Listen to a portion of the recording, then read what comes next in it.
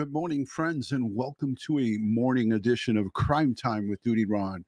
You know the drill. I'm a retired New York City police detective. And if you like all things true crime related from the police detective's perspective, hit the subscribe button, hit that notification bell so you'll get all things Duty Ron when I go live and upload another video. This morning, there is going to be a press conference held by the Suffolk County District Attorney Raymond Tierney. He is going to go over some new developments in the Gilgo Beach murder case. Rex Heuermann is standing accused and tried for three out of four, the Gilgo 4 murders. We don't know if today he is going to announce the charges on the fourth victim, which is Maureen Brainard Barnes, or uh, from what I'm getting from law enforcement, good, solid law enforcement sources, that uh, they have identified Fire Island Jane Doe. That's Jane Doe number seven. And we're going to get into it in a few moments. But I want to say a special thank you to uh, the Patreon supporters, the channel members, the subscribers, the mods, the replay viewers, the folks who leave super chats and super thanks after the videos are over. So at 10:30 p uh, a.m. here in New York, that's Eastern Standard Time, just in a, a short period of time, about 20 minutes from now, we'll have live coverage of this press conference. And we'll listen to it live together, and we'll also have a little bit of a Q&A and some uh, of my um, take on what Suffolk County District Attorney Ray Tierney, uh, what he puts out. And we may hear from the police commissioner, I hope. We may hear from uh, the task force members, possibly the FBI, state police, Suffolk County Sheriff's Office. This task force is comprised of all of those agencies. So, um, again, let's say thank you to everybody that's coming in. Robbie, thank you for the super sticker. Much appreciated. Thank you. Hello, Janine. Uh, Cat 747, thank you for being here. Uh, Debbie, good to see you. Um, I'm going to go over Jane Doe uh, number seven right now. Um, so uh, it's good that you asked that question because we're going to get into it right now. Um, so Jane Doe number seven, better known as Fire Island Jane Doe. Uh, she was um, her remains were discovered on April 20th of 1996. Two female legs wrapped in plastic, wrapped in plastic, were discovered on the bayside shore of Fire Island, one mile west of Davis Park Beach. Uh, in Suffolk County, she was given the name Fire Island Jane Doe. That's 1996, uh, folks. Um, multiple scars were noted on the victim's legs. These were two legs, right leg and a left leg. And there is, um, again, multiple scars noted on the victim's legs. But now a skull, uh, many years later, uh, the same victim's skull would be later found April 11th of 2011, west of Tobay Beach in Nassau County. Um, and here she was named at that time Jane Doe number seven. The DNA testing linked both of these sets of remains. They linked the legs along with the skull that was recovered. So 1996, fast forward to 2011. Uh, and let's listen to a piece by Mary Murphy. She did some great coverage on this. It's a three and a half mile ferry ride from Patchogue in Suffolk County an isolated haven on the eastern end of Fire Island. Davis Park is a very tight knit community. It's the best place on earth, really. It's the best kept secret in town of Brookhaven. Wayne Lunati, the marina director, has been coming to Davis Park on the Great South Bay since the 1950s. But even he didn't know about Davis Park's ties to a baffling murder mystery. This area may have been a starting point for the Long Island serial killer without anyone realizing it at the time. 20 years ago, in 1996, two female legs were found here wrapped in plastic. Years later, during the serial killer investigation, a skull that was found in Tobay Beach was tested for DNA, and that DNA was matched later to the legs here in Davis Park. Shocked. And why do you say that? Because it's a quiet community. There's no cars out here. In order to get here, the only way to get here is by boat. Davis Park is a boater's paradise with more than 200 slips. This map shows Davis Park is 22.9 miles east of Tobay Beach, which is located in Nassau County. The female skull in Tobay was found in 2011. The Davis Park Marina director believes the victim's legs drifted here all those years earlier. I don't think they were dumped here at all. Why? It's it's too far out of the way. Could have drifted anywhere. It happened to end up here. The Long Island serial killer, known by the acronym LISK, did not become part of the public consciousness until December 2010, when four Craigslist escorts, their bodies intact and wrapped in burlap, were discovered in the bramble off Ocean Parkway in Gilgo Beach. Suffolk County Police have been searching for missing escort Shannon Gilbert, who was last seen running and screaming from a client's house in Oak Beach on May 1st, 2010, yelling, They're trying to kill me. Six other bodies or body parts were found in 2011 before Gilbert's remains were discovered in a marsh in Oak Beach.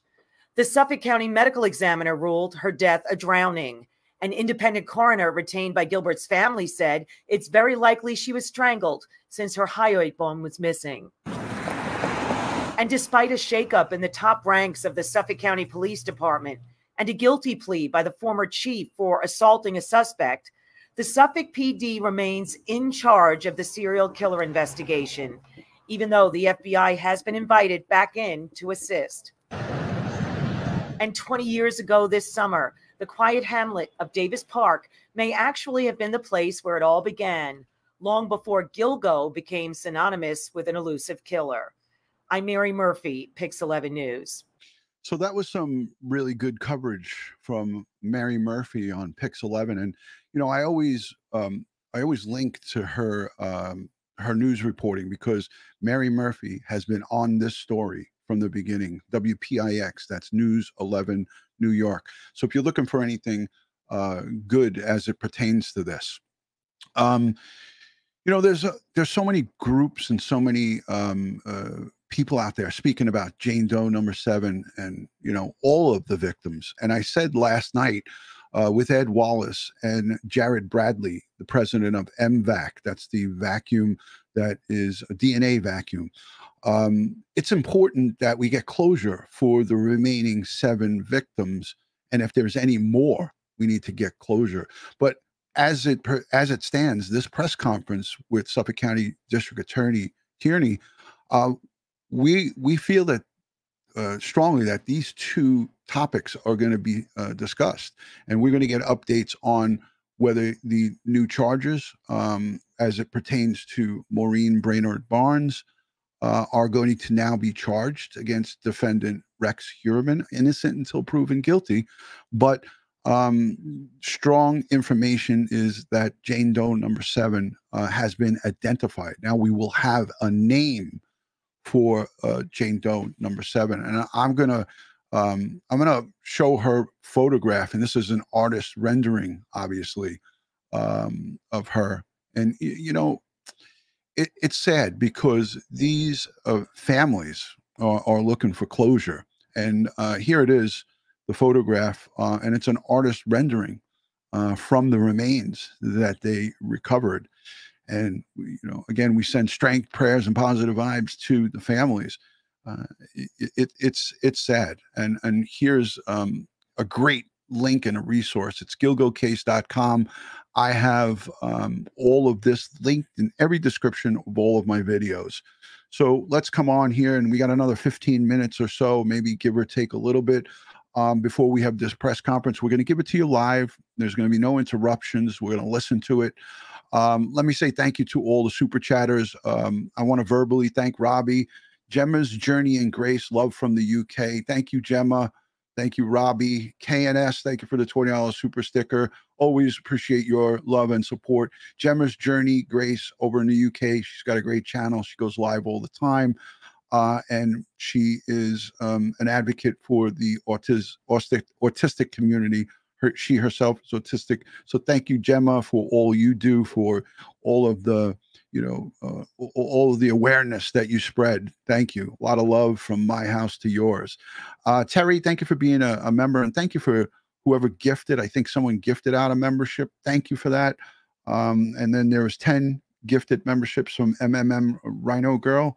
Thank you for being very kind and generous. Kurt, thank you for that super chat. Mu- much appreciated. Debbie, Deb Reeds, thank you for the super sticker. And Jakey, Jakey5, thank you for your support from across the pond. Diane Banks, uh, D Banks, uh, in the in the building. D D Banks, great friend, member for ten months. She says, "Love this channel and my crime family." Well, a lot of love right back to you. Um, so after we after we do um, the press conference, folks, um, KM uh, Price, thank you for becoming a channel member, and Donna Shaw, thank you for the super sticker.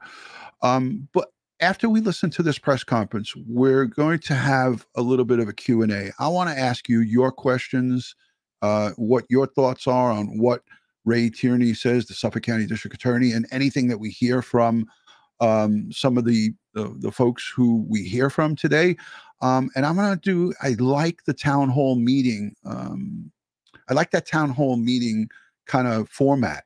Uh, so if you guys want to come up one at a time, I'll I'll get you know maybe two or three or four of you guys to come on up and we'll ask these questions about what we just listened to. And I think that's a great part of live interactive live streaming because it's not always about just hearing the information. And by a show of hands, who watched the DNA uh, MVAC forensic live stream last night that we did? It was Ed Wallace, Jared Bradley, the president and CEO of MVAC Systems, and myself.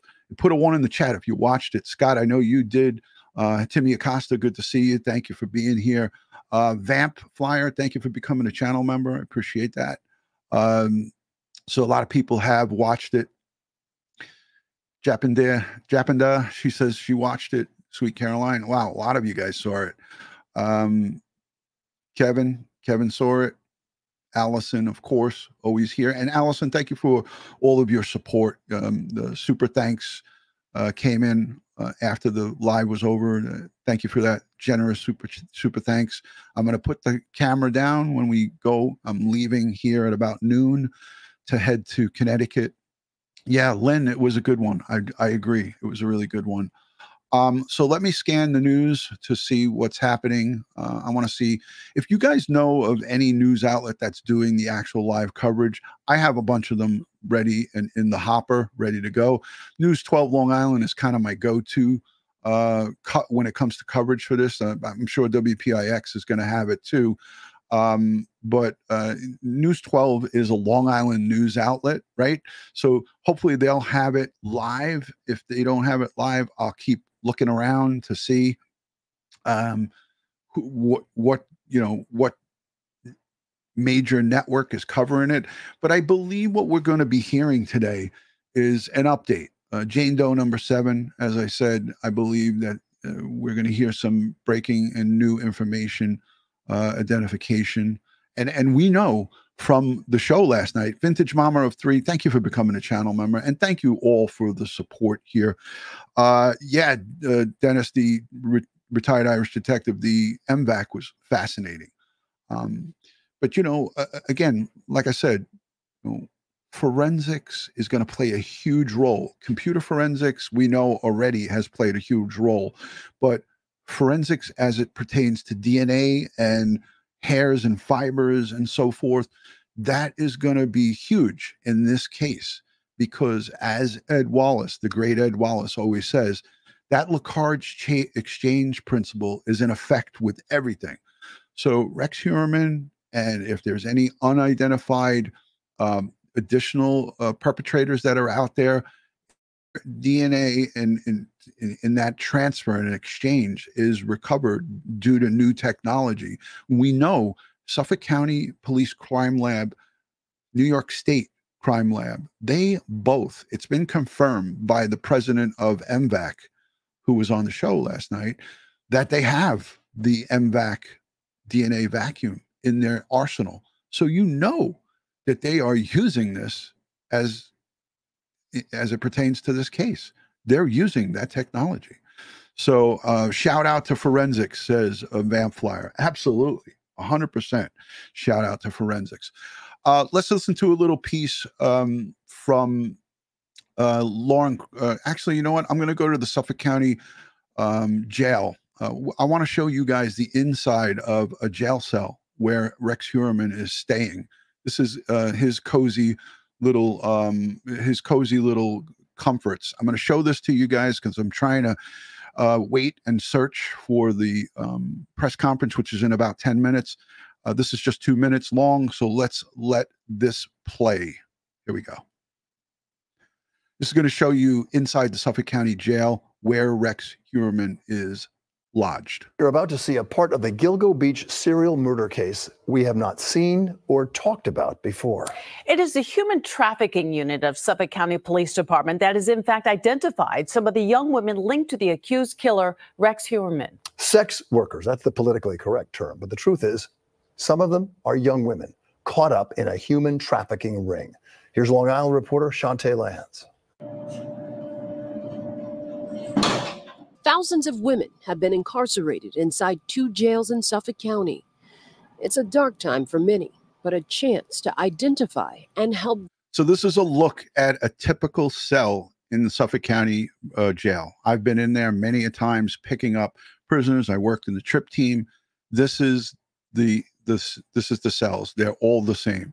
A stainless steel sink, a stainless steel toilet, a small little cold hard desk, a really nasty smelling um, piece of bedding that is not, uh, you don't get any covers, you get no blankets, you get no pillows. The pillow is built in right here and they just clean it off. So this is a typical Suffolk County jail cell. Victims of human trafficking. We've been able to identify 315 um, victims and 192 traffickers. Investigative Sergeant Aaron Menkel heads the human trafficking unit.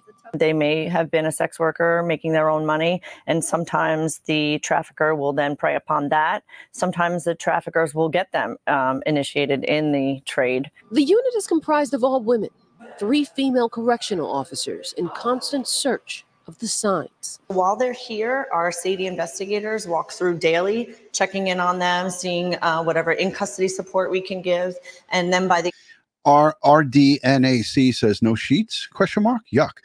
Sheets can be used to hang uh, oneself.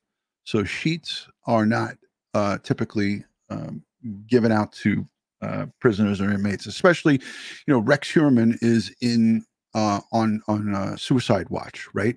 So they have him under evaluation 24 seven. Uh, there's correction officers that check on him on a regular basis. So yeah, no uh, no bed sheets. You don't. You're not getting a thousand um, uh, a, a, thousand uh, uh, thread um, linens. You know, two thousand. Uh, you know, 2000, 2000 uh, sheet linens. You're not getting that. Uh, it's not. Uh, it's not anything comfortable. At the end of the week, they take them out and do a one-on-one interview with everyone. Slowly gaining their trust even identifying several sex workers who encountered accused Gilgo Beach serial killer Rex Heuermann. He had reached out to them uh, to, for sex. Uh, fortunately for these two women, they uh, took the calls but did not uh, meet with him. Sheriff Errol Toulon launched the unit in 2018. Did you ever think that your human trafficking unit would help in the Gilgo Beach investigation? You know, when we first created this in 2018, we started to try and formulate some questions without knowing anything because there was no task force. But then once the task force was created, it really helped. Heuermann is housed in Suffolk jail. The architect and father of two pleaded not guilty to three murders. He remains on suicide watch. So our mental health staff will be evaluating him, uh, you know, most recently because he just had a court date yesterday to make sure that he's still okay. Rex Heuermann is staying in a single cell just like this one. Nothing but a toilet, sink, window, and a bed. Hey, at least he's got a window, right? So there's a better look at the actual cell. Uh, these cells are um, recently updated and upgraded because uh, a lot of the cells, you know, that you see have the bars, you know, and it locks in. This has an actual door with a window Um, so it's a little bit. They say the, the, I'm going to bring it back. They say it's a little more um, where you you you you have a, a look at the outside. Um, the bars obviously um, are, are, are more dangerous for the actual um, correction officers because inmates can throw things at them like feces and urine um, and other uh, things that they may have from their commissary. So this is safer for not only the inmates but more importantly for the uh, prison staff. Uh, so this this is the new. Um, the, these are new. Um, used to be again metal gates uh, that would go, and prisoners could put their hands out and so forth. So this is uh, this is supposedly you know obviously safer. Hero is staying in a single cell just like this one. Nothing but a toilet, sink, window, and a bed. No visits from Heuermann's family, just his attorney. But others have tried. There have been some journalists and some other individuals that he's refused to um, actually uh, see. So journalists and some random people he's refused to see. Uh, basically, he's just had contact with his attorney. Did he know those individuals? Uh, that other individuals that he's refused to um, actually uh, see. Did he know those individuals? Uh, that I do not know um, whether he knows them or not, but he refused the visits. Meaningful work for Sergeant Minkle. So many women have told us that jail has actually saved their lives. So there you have it, folks. Uh, I'm going to go straight over to the press conference because I believe that it's getting ready to be queued up. Um, I'm getting a lot of uh, messages from people on Newsday. I have them all in the hopper here. So um, I'm going to take a peek right now at Newsday, see what we got. Long Island.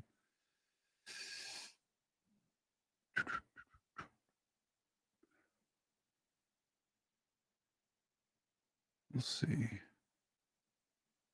Hmm. Okay.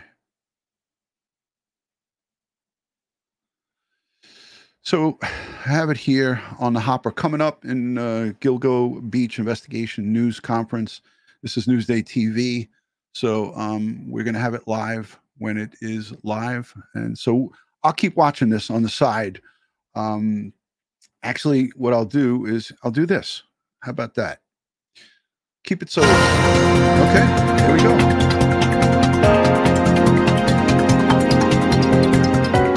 Good morning. I'm Jasmine Anderson. Breaking news now out of Suffolk County. The DA's office, police, and other law enforcement officials are having a news conference on new details of the Gilgo Beach killings. They're expected to talk about the identification uh, the of another of, victim. Uh, Let's take a listen. Known as Fire Island Jane Doe. Um, you know, on April 20th, 1996, uh, female remains consisting of uh, legs uh, and feet were found on the bayside shore of Fire Island, about a mile west of Davis Park Beach. Uh, then, approximately 15 years later, on April 11, 2011, uh, additional remains consisting of a skull were discovered at Tobay Beach in Nassau County.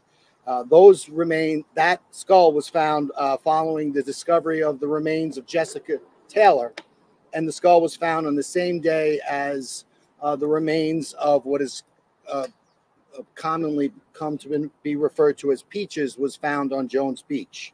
Uh, in uh, thereafter, in July of 2011, the Suffolk County Crime Lab linked this, uh, the two sets of remains via DNA analysis, and by that I mean the legs that were found in the vicinity of Davis Park were compared with the remains found at Tobay Beach, and it was determined that uh, it was the same person.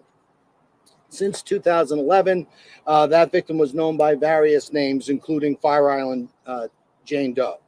Uh, today, uh, we are here to announce that as part of the Gilgo Task Force re-examination of all the evidence in the case, we were able to identify Fire Island Jane Doe as Karen Vergata, who was 34 years old at the time of her disappearance I believe we have a, a, a picture of, of Miss Vergata. I think it's important uh, that we remember and honor not only Ms. Vergata, but all the victims uh, on Gilgo Beach. Uh, Ms. Vergata went missing at approximately um, February 14th, 1996. Uh, at the time, she lived on West 45th Street in Manhattan and was believed to be working as an escort at the time of her disappearance. Uh, there was no missing persons complaint filed, at the time of that disappearance. Uh, in August of 2022, approximately six months after we formed this Gilgo task force, a DNA profile suitable for genealogical comparison was developed from the remains of Karen Vergata. In September of 2022, the FBI was able to was able uh, via a genetic genealogy review to identify Ms. Vergata presumptively as Fire Island Jane Doe. Thereafter, in October of 2022, uh, using a buccal swab from a uh, a relative of uh, Karen Vergata, we were able to uh, definitively identify her. Uh, prior to disclosing this information, of course, we needed to contact all of Ms. Vergata, Vergata's family members. And additionally, uh, at, or, at around the same time, uh, we were beginning our uh, our grand jury confidential investigation into what has been known as the Gilgo Four. That is the murders of Maureen Brainard Barnes, Melissa Barthelemy, Megan Waterman, and Amber Costello. Uh, so we decided we were not going to make any public comment at this time. However, since that, uh, the results of that investigation have become public, and we have made the necessary notifications to Ms. Vergata's family. Uh, we can we can make this uh, important announcement now. Um, I just want to thank, uh, in particular, Special Agent Lori uh, Lori Giordano from the FBI in her work with the familial DNA. She worked in conjunction with us, our Suffolk County Crime Lab, uh, Don Dollar, Dollar of the Suffolk County Crime Lab, his team, in coordination with the Suffolk County Police Department's homicide unit. Uh, so I want to thank them uh, for, uh, in particular, for all of, of their work. Of course, I want to thank our task force members, uh, Suffolk County Sheriff Errol Toulon, uh, ASAC Spencer Spencer Horn from the FBI. I want to thank the uh, New York State Police, uh, Suffolk County Police Department, uh, Rodney Harrison, who couldn't make it here. I understand Chief Rowan is here in his, his place instead. Uh, but I want to thank them uh, for uh, not only their work on this case, but it, for all their work in the task force going forward. Um, it's important to note that there are no charges at this time. Miss Vergata's disappearance was in 1996, which is 27 years ago. Uh, we are going to continue to work this particular case as we did the Gilgo 4 investigation. Um, we're going to have no comment on what, if any, suspects we developed at this time. Uh, this is a confidential investigation, so I'm not going to be taking any questions, but our investigation is continuing, and thank you all very much. uh, no questions. Uh, if you want to talk about you know something regarding the Gilgo Four, uh, I, am I'm, I'm happy to talk offline to you. But today, this is about this press conference is about uh, Ms. Vergata, and uh, you know that we've been able to identify her, and that we're continuing our investigation not only with regard to uh, the Gilgo Four, but all of the the victims on on Gilgo. So thank you all very much. Nothing else you to say about Ms. Vergata? Hey, so folks, Shannon, our deputy press uh, secretary, has a digital version of this, which she can send out to you all.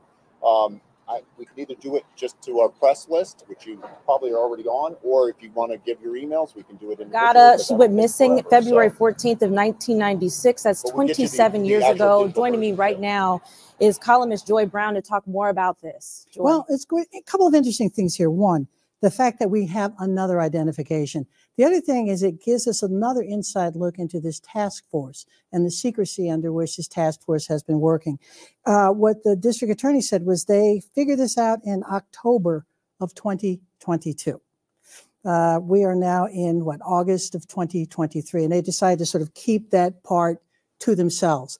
The other thing they told us is that they made a match or helped figure out to do this. They took some DNA and they ended up swabbing DNA from a relative. So he called it familia DNA, which would presumably mean that they went to genetic databases, you know, um, Ancestry, uh, 23andMe, to sort of get us the identification of, of Ms. Vergata. Um, it also tells us that they were doing two things at one time, or multiple things at one time, which is they had her identification while at the same time keeping surveillance on the suspect, Rex Heuermann, uh, who has been charged with the Gilgo 4. And we know no charges have been filed in relation to Jane Doe number seven, which has been identified as Karen Vergata. So no gonna- charges. He was very specific to say that. I would have assumed that would have been the first question. So right now, it seems that he's we've got a prosecution going on. We've still got the investigation going on into. You remember there are three sets of remains that remain uh, unidentified. You have Peaches. This is a torso with a with a tattoo. You have a toddler who uh, officials are presumably that this is her child, and we also have an Asian male. So you've got that still going on, and now you've got an investigation going on to try to put together and figure out the mystery of what happened to and who was responsible for the death of Ms. Vergata. Yeah, and I don't want to take away from uh, Miss Vergata because that's what we're here to talk about today. She lived in Manhattan. Uh, she worked as an escort there, um, and then of course in 22, like 2022, as you mentioned, um, the family was then um, their identity was used, or DNA, I should say, their samples were used to uh, make a comparison to see if this was her. Is this a common practice that is used typically in these situations, or is this uncommon? Well, you're seeing more and more people making use. I want to point out something here, real quick. Um, first and foremost, Karen Vergata, may her and all of these victims rest in peace. Now we have a name for Jane Doe number seven. But I want to point out something here, and I'll let this continue. She was an escort and lived in Manhattan. Let's put a little bit of this together. Just again, this doesn't, I'm not saying this definitively, but Rex Heuermann in 1996, we don't know if he was uh, traveling in and out of Manhattan. Was his office still in Midtown Manhattan? But it's very coincidental that she is an escort. She lived in Manhattan and she disappeared February 14th on Valentine's Day in 1996. Was Rex Heuermann's wife away in 1996? Was he even married to her in 1996? Because, again, uh, does all these timelines add up? Her two legs were found April 20th. She goes missing on Valentine's Day of 1996. And then two months later, April 20th, 1996, her legs are in Fire Island, recovered in Fire Island in a plastic bag individually. And then April of 2011, her skull comes in and washes up um, in Nassau County. Interesting, right? Nothing that we know of came as a result of that. Uh, the DA took a look at that belt again, uh, and that belt was used on one of the victims. Um, so we're finding a lot, out more and more of that. And Newsday's reporting is t- saying that one of the suspects of the Gilgo Four, Rex Heuermann, one his grandfather, one of his ancestors, had initials and had so presumably the belt may have belonged to him or may have been passed down from him. That's William Heuermann that you're mentioning. That's correct. Right. Okay, so a lot to take in here today. But again, uh, the Jane Doe number seven identified is Karen Vergata. I believe she was 34 at the time. um, 34, yes. 34 years old. And she her remains were found on Fire Island and Jones Beach back in 1996. So we're going to be talking about this for some time now. This investigation has been going on for more than 13 years at this point. What did you say? Five police commissioners, uh, three DAs. I mean, the list goes on. Well, but we today we have a name and we have a face. Yes. And I think that that is significant uh, for all of us. And do you think this is going to maybe, I mean, put a little piece on the family of this young woman? I think it's going to put a little peace on the family and a little more humanity on the rest of us. Absolutely. Well, thank you so much, Joy, for your time. And of course, if you missed any of this, we're going to post this on our website. That's newsday.com. So there you have it, ladies and gentlemen. Uh, you know, again, our prayers and and and, and positive vibes go out to her surviving family. You know, 34 years young, uh, Jane Doe number seven identified. Breaking news as of today as Karen uh, Vergata, 34 years young, uh, deceased, uh, arguably to uh, February 14th of 1996. Hey guys, uh, joining me live as soon as I get the thumbs up, I'm going to uh, add her into the stream to give her perspective. Attorney Melanie Little. Uh, so here's uh, Melanie to join us. Hey Mel, thanks for Hi. What's your thoughts? Did you see some of the presser? I did. I was in the car and I was listening to you and I was listening to it. So I'm not sure what I missed other than uh, she went missing on Valentine's Day of 1996, which is interesting. And uh, she was one of the victims, I believe, that was dismembered, correct? Correct. They found both of her legs washed up in Fire Island, Fire Island, wrapped in plastic bags, Right. which is again not in line with Rex Heuermann's mo. Uh, Right. You know, no burlap, but also uh, fast forward to 2011, her skull uh, washed up um, right on the shoreline of uh, in Gilgo Beach. So uh, I went over that earlier this morning. Fire Island was, uh, you know, again in in in February, and then we had the skull at Tobay Beach, just a little bit past Gilgo, uh, on April 11th of 2011. So Mhm. yeah, a lot of a lot to take in. I was hoping that there was going to be the upgraded, uh, the additional charges for Maureen Brainard Barnes. Yeah. We didn't hear anything, and you know, Suffolk County Police Com- um, Police Commissioner did not make a statement, and that is also, for me, um, it seems like the DA is is taking the lead not only on charging Rex Heuermann, but the lead on being the spokesperson for this case. And and I feel that that's not the best of choice. I would have liked to have heard from the police commissioner Rodney Harrison. What's your thoughts on that?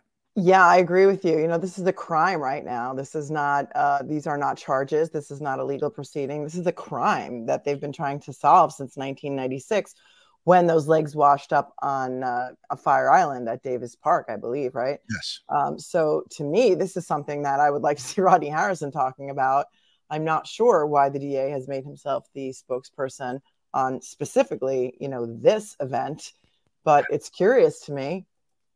Yeah, uh, absolutely. And and you know, I, again, we haven't heard anything from him since the very early initial press conferences. Uh, I think we heard from uh, the police commissioner twice. Uh, and he's so well spoken, and I really wanted to get some other perspective. And let us know in the chat what you guys feel. You know, again, I, this this is not in any way, shape, or form a bashing session of uh, the district attorney, but again, we've heard so much from him. We'd like to hear from the actual police commissioner who's running this task force. The district attorney's office obviously is involved. Their investigators are involved, but they're not running the show. Rodney Harrison is running the show. And I, I think that um, hearing his perspective would help. Hey, I wanted to do this quick, um, just let everybody take a listen. This is a video with Mary Murphy. Um, this is probably what you missed, but I'm going to do this for the uh you know advan- your advantage so you could hear about jane doe number seven because this is a very this is very good coverage so let me play this and we'll take it a listen and we'll come right back i played this in the top part of the show It's a three and a half mile ferry ride from Patchogue in Suffolk County, an isolated haven on the eastern end of Fire Island. Davis Park is a very tight knit community. It's the best place on earth, really. It's the best kept secret in town of Brookhaven. Wayne Lunati, the marina director, has been coming to Davis Park on the Great South Bay since the 1950s. But even he didn't know about Davis Park's ties to a baffling murder mystery. This area may have been a starting point for the Long Island serial killer without anyone realizing it at the time. 20 years ago, in 1996, two female legs were found here wrapped in plastic. Years later, during the serial killer investigation, a skull that was found in Tobay Beach was tested for DNA, and that DNA was matched later to the legs here in Davis Park. Shocked. And why do you say that? Because it's a quiet community. There's no cars out here. In order to get here, the only way to get here is by boat. Davis Park is a boater's paradise with more than 200 slips. This map shows Davis Park is 22.9 miles east of Tobay Beach. All right, I got to stop this just for a second because Magical Mary, thank you for that question. And and I uh, the reason I'm stopping is because I saw multiple people and there's so there's no confusion. She was reported missing on February 14th of 1996. Her legs were discovered and found on April 20th of 1996.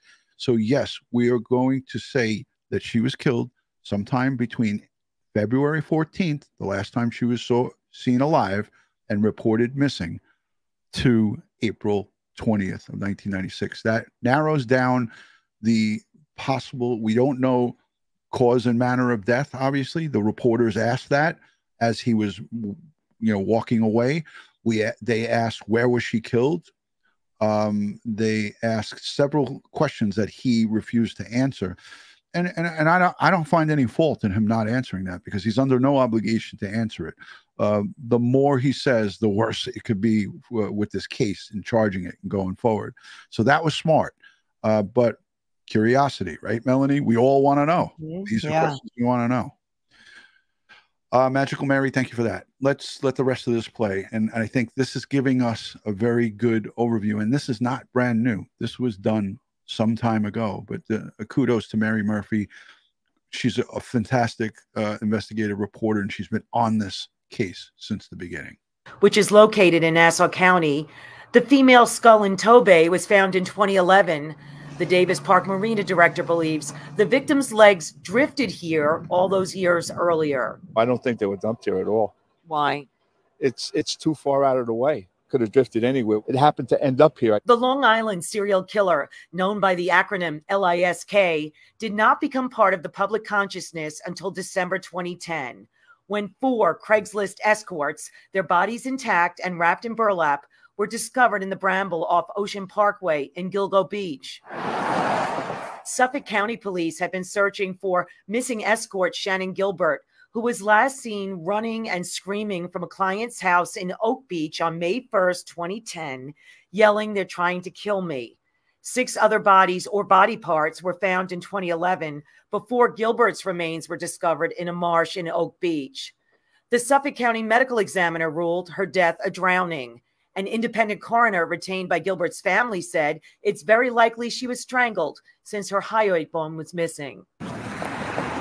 And despite a shakeup in the top ranks of the Suffolk County Police Department and a guilty plea by the former chief for assaulting a suspect, the Suffolk PD remains in charge of the serial killer investigation, even though the FBI has been invited back in to assist. And 20 years ago this summer, the quiet hamlet of Davis Park may actually have been the place where it all began, long before Gilgo became synonymous with an elusive killer. I'm Mary Murphy, Pix 11 News. So that was a, a fantastic uh, report uh, on this uh, on Jane Doe seven, and also all of the other victims. Um, Melanie, again today we I put it in the title. I was I actually reached out to one of my own people who I worked with that now work close in this investigation, and he couldn't really say much to me but he basically said the cat's out of the bag. NBC had reported it early this morning um, that a source close to this investigation um, stated that Jane Doe number seven was going to be uh, identified here in this press conference. I put in the title "New Charges" with the question mark because I was hoping and praying that Rex Heuermann would be uh, held uh, uh, in, in, in, you know, charged with Maureen Brainard Barnes. Uh, but the, we we're just waiting, and we have to wait patiently. And Melanie, I wanted to get some Yeah. more thoughts because a lot of people look to you uh, from the attorney's perspective on that. with regard to the new charges yeah. The issue is that maureen brainard barnes was the first young woman to go missing. She went missing in 2007 and at the time that the bodies were found in 2010 all four of them were found at the same time. She had been there for the longest time in the marsh in the bramble. So at the time that the bodies were found for some reason they did not collect her cell phone data at that time and then later, when they went back to get it, it was no longer available because the cell phone carriers have certain retention policies and it was past the date that they could recover that data. So now what they're doing is trying to piece together other evidence to tie her back to Heuermann as well, but that's a process. It's going to Yeah. take time. We've been told, you know, he's the DA has slipped a couple of times and said that the jury process is ongoing, which makes me think that they are currently hearing the case and it's going to come down soon. But that's kind of anyone's guess. I think um, we're hoping for that, and I'm hoping that's going to be soon. I thought, I think we both thought we were going to hear about that today. Right. We we're But- hoping for sooner than later. Yeah, absolutely. Just to clarify something. So Karen, is it Vergata with a B or Vergata with a V? It's a V, a Vergata, V E R G A T A. So- R G A T A. So Karen Vergata's legs uh, were found in 96. Her skull was found in 2011. They've never found her torso or any other body parts. Is that correct? That is correct. That is so he- here's what's interesting to me. She goes missing, and and this is significant too because it's Valentine's Day in 1996, which is significant. And I'm going past uh, uh, uh, through all my other notes on all of these other um, bodies that were found, and Heuermann bought his mother's house in Massapequa Park in 1994. In 1994, there were also two other killings Colleen McNamee and Rita Tangredi, which were 20 years later connected to a guy named John Bittrolff, who was convicted and he's currently in jail for those two. Um, they were also, you know, I hate the term sex workers because to me that makes it seem like it's something that these girls or women want to do and they're doing it as a job that they want to do. And I don't think that that's always the case. But in any event, they were both also escorts, you know, whatever word you want to use. So he comes back to Long Island in 1994. Before that, he was living in New Jersey. The legs are found in April of 96, which we now know belonged to Karen Vergata. In 1997, that is when Peach's partial remains were found in Hempstead Lake Park. And then in 2000, uh, Jane Doe number six, who was later identified as Valerie Mack, who was also an escort from Philly, her partial remains, her torso was found in Manorville. And then in 2003, Jessica Taylor, who was known as Jane Doe number five, her torso was also found in Manorville. Yeah. So these were all in quick, you know, kind of quick succession between 96 and 2000. And then all we know is his next victims went missing in 2010. So there's a decade in between. Correct. Yeah. And, you know, my thought is that maybe in the beginning, when if if he is tied to these, he was dismembering because it would be more difficult to identify a body back then in the 90s, correct me if I'm wrong, without Absolutely. fingerprints, right? Yes. So if you got rid of the hands, there were no fingerprints. You know, if the skull was separated from the torso, you know, dental records could be a way to identify somebody. But I don't remember, and you know better than me, what the technology was like in 96. You So- know, D- DNA was there, but you know, back then the fingerprints, um, we would find body parts dumped in lots in Brooklyn, uh, and there would never be the hands there. There would never be the feet there. Those Yeah. things, footprint. You know, as we know, when you're born in the hospital, they take a footprint for you uh, for the Yep. babies, uh, and then um, fingerprints uh, and so forth. So that's how we would find um, and, and, and i'm showing pictures of all of uh, related here but I, what i wanted to do too is i just wanted to i wanted to read this um, article that i had up because i thought it was interesting uh, not so much this first one, but this one here. It says Grisly Discovery. Suffolk County Police are continuing their investigation. This obviously was from um, 1996 in in April. Uh, they're continuing Suffolk County Police continuing their investigation into the discovery of two disembodied female legs on a Blue Point beach on Fire Island.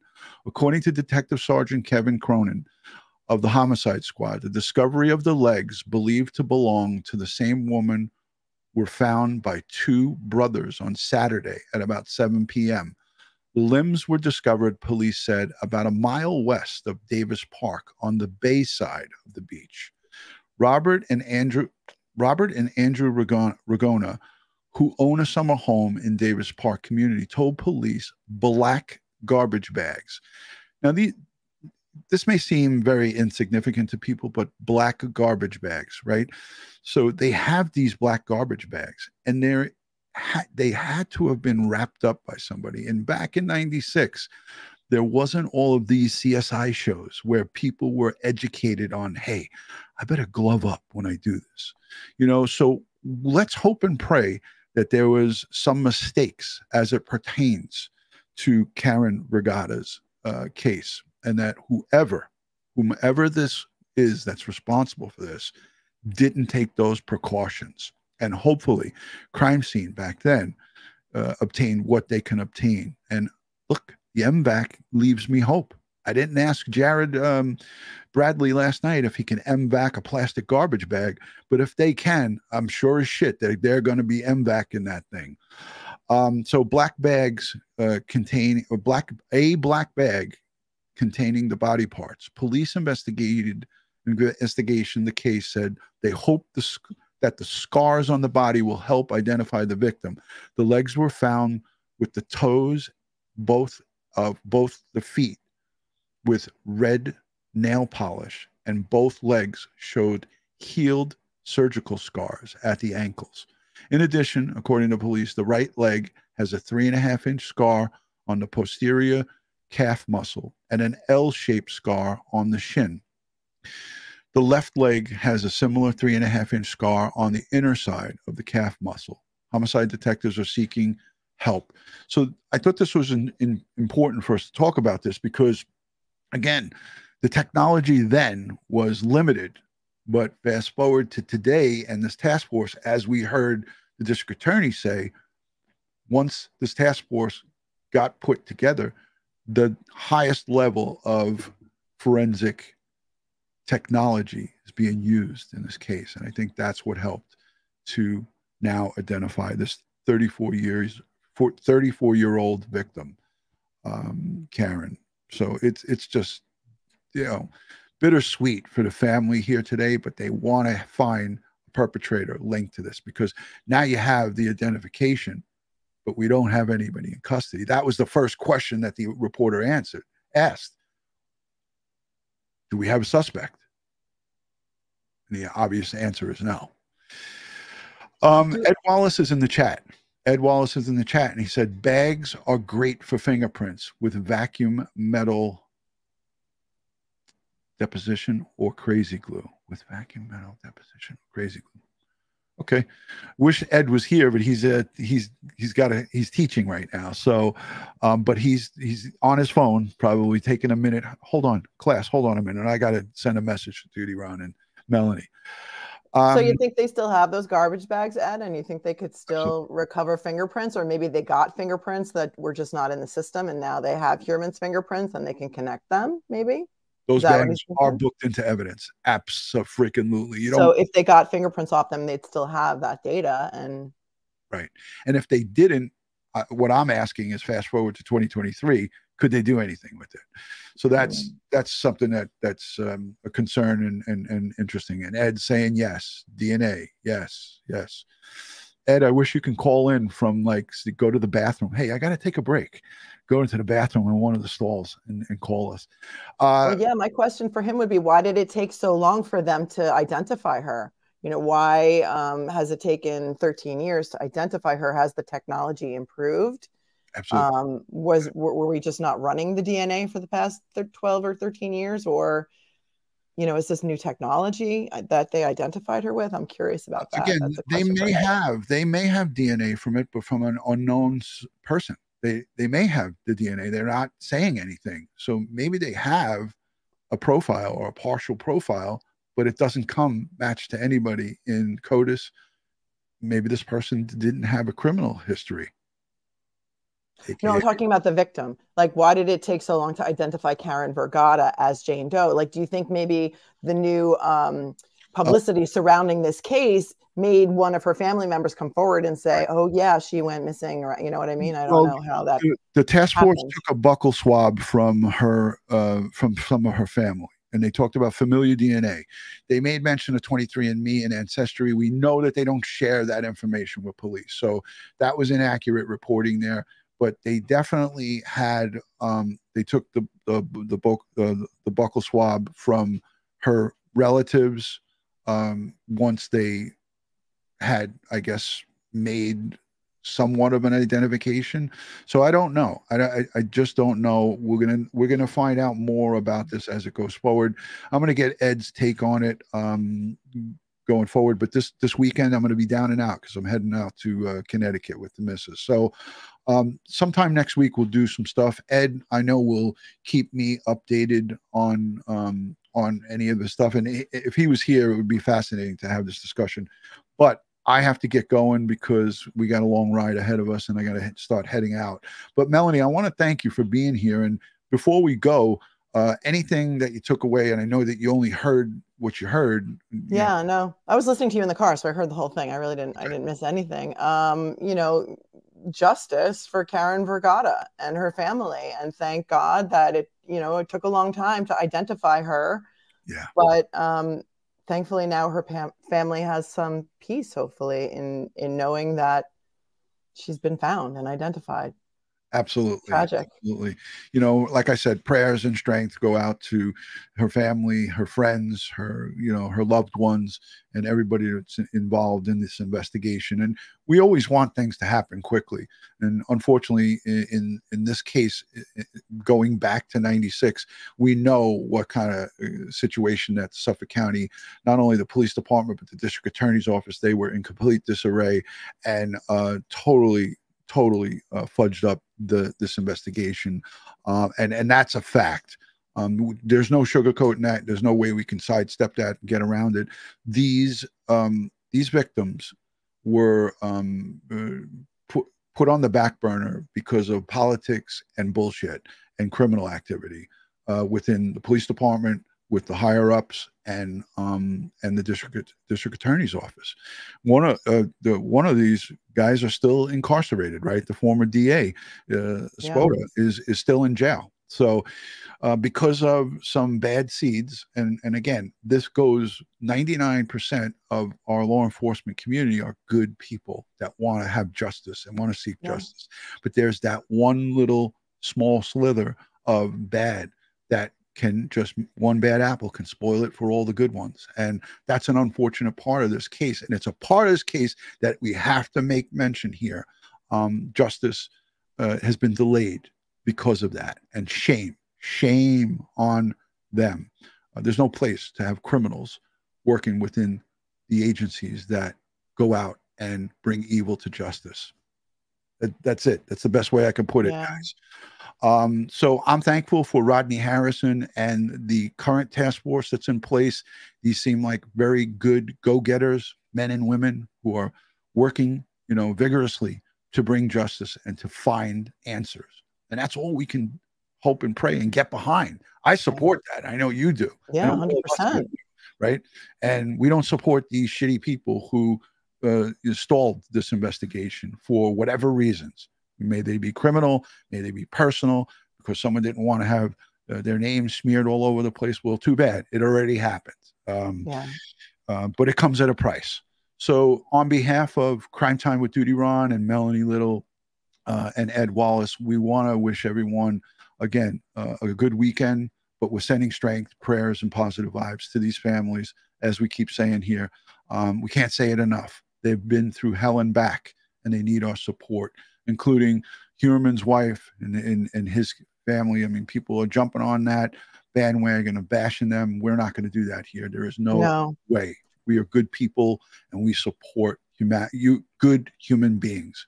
All right. So thank you all for watching this press conference. Melanie, thank you for taking out the time. I got to run. My wife's tapping her foot. So I got Two things. There's just one one quick thing before I go. The GoFundMe for uh, Asa Ellerup, which is what her uh, attorney called her Asa. I've been calling her Asa, is up to twenty eight thousand dollars. So for all of you or any of you who donated, thank you so much uh, for donating, and um, we're hoping to you know maybe have a little part in helping her rebuild her life. And I did want to do the because town she's a hall. victim as well. Yeah, absolutely. Thank you for mentioning that. It's linked in the description, by the way. Um, I did want to do a town hall, but I I I got, I got to cut this thing short because I got to get out of here.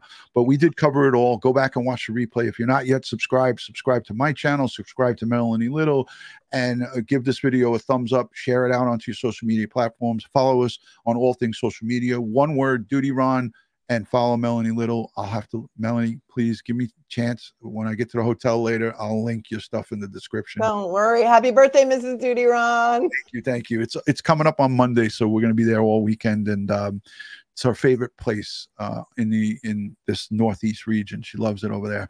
So. Uh, again, thank you to everyone watching. Thank you to the replay viewers. Thank you to the super chatters. I think I got to everybody. Um, and we will see you on the next one. God bless everybody, and we'll see you soon.